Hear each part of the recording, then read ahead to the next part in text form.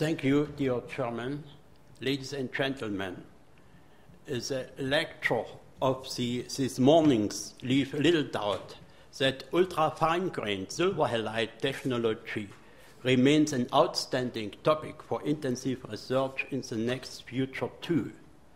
The system is unsurpassed for its um, unique combination of ultra-high resolution and very high sensitivity. The other advantage is uh, its suitability for spectral sensitization over the whole optical wavelength range. However, the statement may still linger that we don't know whether emulsion research is a science or an art. A multiplicity of very controversial influences and uh, parameters constitute a serious drawback for goal directed uh, optimization. The DESA technology has been reported at San Jose in the last three years. The technology is restricted to a laboratory procedure, and it remains a very delicate uh, question of cost effectiveness, whether an industrial production may be envisaged or not. But there are strong arguments um, that um, uh, do-it-yourself that uh, um, there are strong arguments that favorite the do-it-yourself man manufacturing by academic situation. The laboratory procedure is proportionally easy. It may be carried out by any skilled collaborator. The technology provides the availability to high performance materials independent from commercial restriction. All university education and research activities may be based on a profound knowledge of important details in emulsion manufacturing and sensitization um, the existing technology provides is open to further innovation, which are otherwise unavailable, unavailable uh, with commercial materials, and the technology provides a sound basis for cooperative project work with other partners from industry and science. Motivation.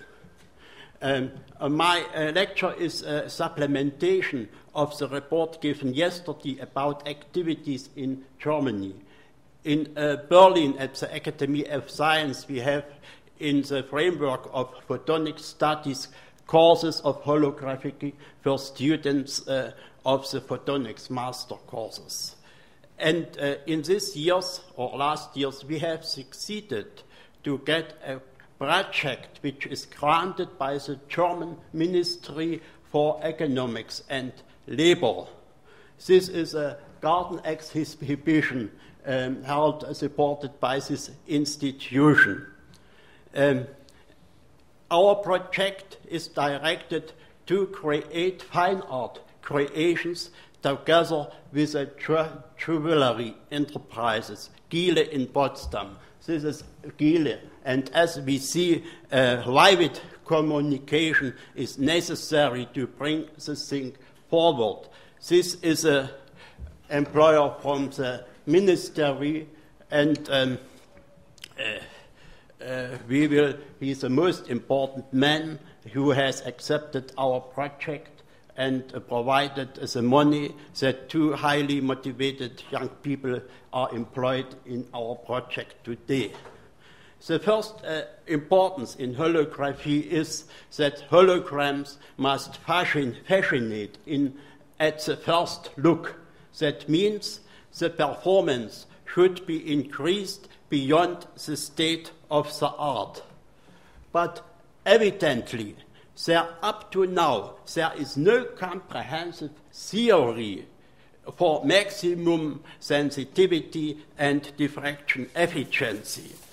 Um, there are systemized uh, some points according to our experience, which are much important to reach maximum performance. All these uh, influences work together, but we will restrict some remarks to some peculiarities only. Uh, with respect to layer performance, there is uh, no serious lack in the literature to be informed fully about all important details referring to emulsion precipitation, desalination, and coating. Uh, to prevent sleepless nights or troubles with crystal growth, uh, good cooperation with an experienced gelatin necess- uh, producer is necessary. Um, thus, we have reached a quality factor of 254 for red helium neon laser radiation at 632.8 nanometer, which describes the optical performance of the layer considering a thickness of 5 micrometer and a mean grain size of about uh, 15 nanometers. Um, but the most crucial step is spectral sensitization. Fortunately, spectral sensitizers are available today to all wavelength ranges, which provide highest photochemical sensitivity efficiency. These are carbocyanines with a double ion structure, mostly named as merocyanines. Mm. However, the photochemical uh, behavior is not the only property for the high efficiency of a sensitizer. Between single dyes, we find great differences in solubility, adsorption behavior, and other properties that determine the distribution between the gelatin and the microcrystals. Much detailed work is necessary in, to elucidate these peculiarities and to derive a straightforward sensitization technology. For the best sensitizers, we find sensitivities between 80 and 120 microjoules per square centimeter. Uh, uh, in uh, such cases, hypersensitization with triethanolamine has been applied.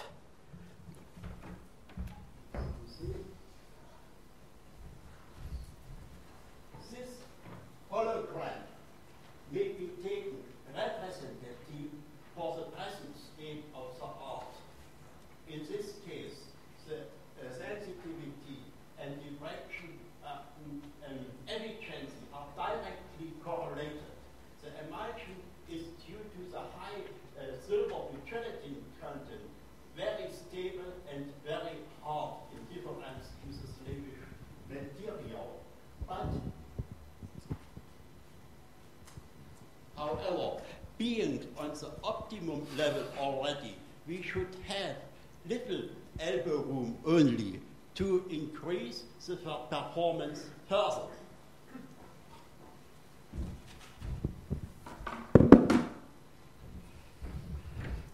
But this uh, conclusion is not convincing, since all um, our experience about holographic emulsions is based on singular, single layers only up to now. We, we get another conclusion. We must regard it uh, more, um, um, more to, to get some new algorithms uh, beyond the state of the art. We must consider a more enlarged concept we can systemize single layer systems with monochromatic sensitization, single layer systems with dichromatic or panchromatic sensitization, multi layer systems for multi interference pattern storage through special coating techniques, for multi interference pattern storage in different wavelength ranges, and finally, sandwich layer systems According to the actual state of the art, we see succeeded to sensitize data single layers in the whole optical wavelength range for helium neon laser radiation, for frequency doubled neodymium YAG laser radiation, and for argon laser radiation. Uh, furthermore, dichromatic and panchromatic sensitization has been have been carried out for multiple interference pattern recording to get holograms in natural colors. Uh, the figure shows uh, the installation for bicolor recording in Denisyuk single beam geometry using red and green light. But in this way, we reproduce the known result that the diffraction efficiency was always inferior uh, for multiple beam than for single, single multiple than for single hologram recording. To change the situation substantially, multi hologram recording should be prevented from uh, disturbing interaction induced through hologram recording repetition. In this sense, multi-layer technology should be very appropriate to record each hologram independently in one of the different layers stacked up on the same supporting material. Let me demonstrate the principle of the uh, last week. Uh, these both plates have been coated by the same precipitation charge, but sensitized for the different wavelengths, the one in the red range and the other in the green range. During the exposure, we realized a sandwich structure. The both plates has been brought into tight contact with uh, the emulsion layer in the middle. Um, there we see the red hologram, we see the in the Denisyuk geometry, and there we see the green one. But uh, due to this exposure, we may be, uh, by the construction, uh, do um, superpose as a both image without any geometrical disturbance. And uh, we get a white, uh, gray, uh, red, green color hologram, and evidently without any diminution in diffraction efficiency.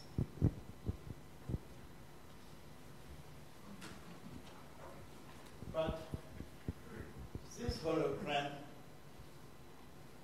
is a red green hologram in a real double layer system.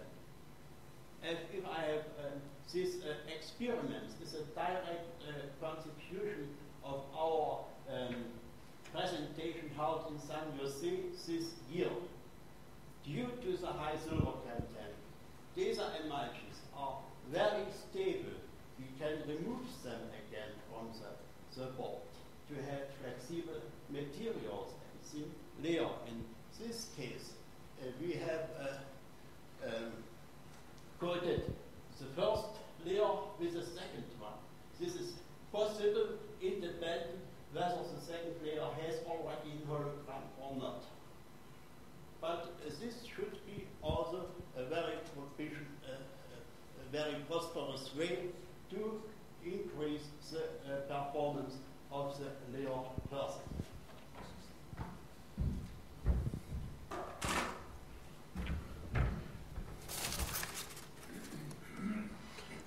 Let me give only two uh, conclusions.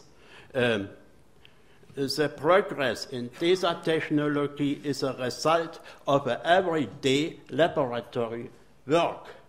This is somewhat in contrast to the actual situation in silver halide technology, which is pushed away by the progress of digital imaging.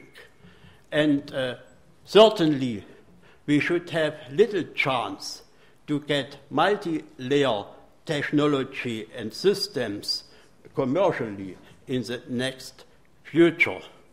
The most important uh, conclusion is that uh, the intellectual potential should be brought together to secure the further progress in technology. Thank you for your kind uh, attention.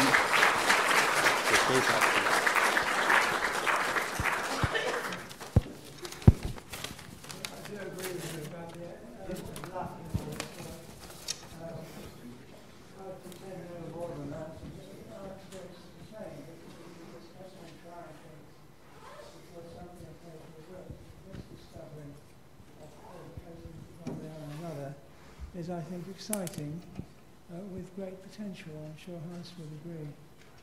We, we haven't done anything like that. Yes. considering that now for the simulcast.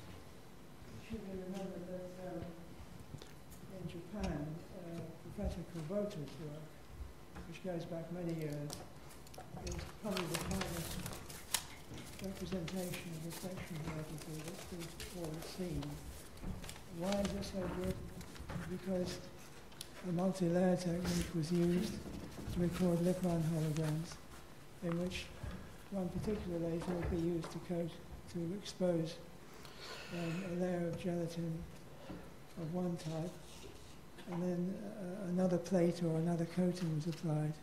And we all look in amazement at the results that Kubota achieved, because if you look at them today, we still really are out there in the front league of uh, all the results worldwide. So I think this was encouraging and should be pursued very strongly.